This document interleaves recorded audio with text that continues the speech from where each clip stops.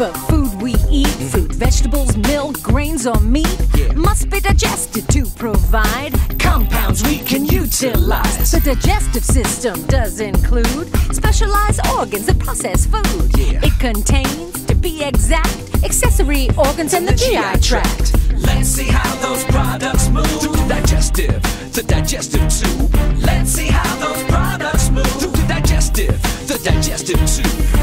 Part we're gonna talk about is the oral cavity or the mouth. It contains the tongue, 32 teeth, and saliva, salivary glands secrete. Yeah.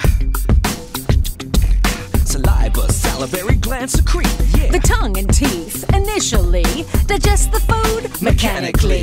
It's bitten, torn, ground, and chewed as saliva mixes in with the food.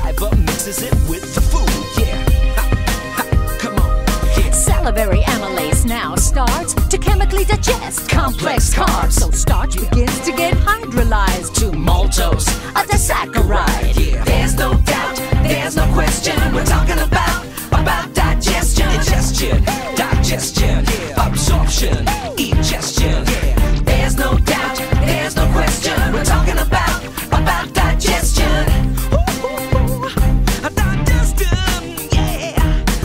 Food is ground up thoroughly, a bolus forms that now will be swallowed down the throat or pharynx as the epiglottis shields the larynx. Peristalsis helps it move down the esophagus, a hollow tube that leads to the stomach, which over time turns the bolus into. To the bolus, into chyme.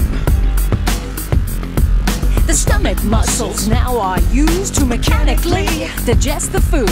It's mixed and churned and combines with hydrochloric acid and enzymes. Chemical digestion now begins because the enzyme known as actopepsin will enzymatically hydrolyze proteins into large peptides. Proteins into large peptides. Proteins into large peptides. Bit by bit, the chyme then moves to the small intestine. That includes the duodenum, The jejunum, jejunum, and the ileum. the ileum. where the last phase of digestion's done. There's no doubt, there's no question. We're talking about about digestion, digestion, digestion, absorption, ingestion. We're talking about digestion. Yeah. The brush border contains enzymes that digest nutrients in the chyme. First they need a helping hand, need a helping hand from the nearby, nearby accessory glands. Yo, check it out. The liver makes a substance called bile. The gallbladder stores some for a while, but they both release it at this time to emulsify the fats in chyme. The pancreas will produce and secrete pancreatic juice to neutralize the acid chyme and digest it using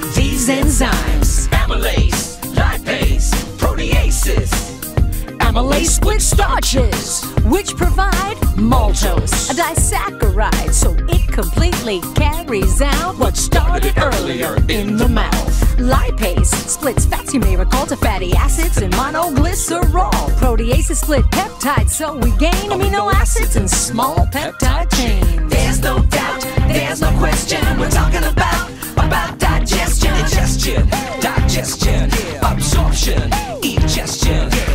talk about the compounds. The compounds that are very small need no further digestion at all. The larger nutrients in the chyme are broken down by brush border enzymes. The brush border contains enzymes. brush border. The double sugars get hydrolyzed to sugars or monosaccharides. The peptides yield on hydrolysis smaller peptides and amino acids. Break it down, break it down, break it down, y'all.